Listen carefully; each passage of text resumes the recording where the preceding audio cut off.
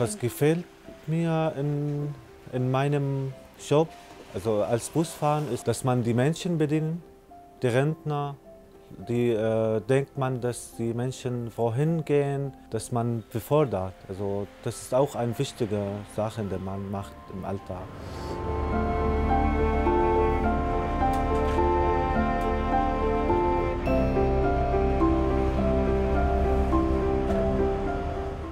Stressig manchmal, der Stau oder äh, aggressive Fahrerbehandlung oder ja, aber das geht.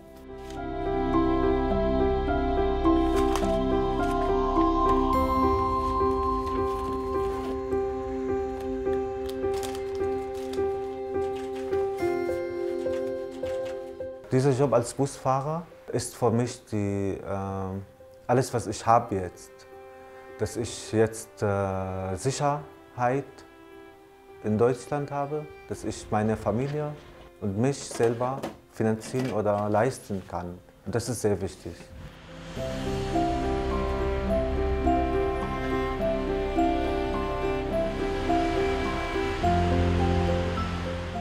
Heimat ist Heimat, da bleibt immer im Herz.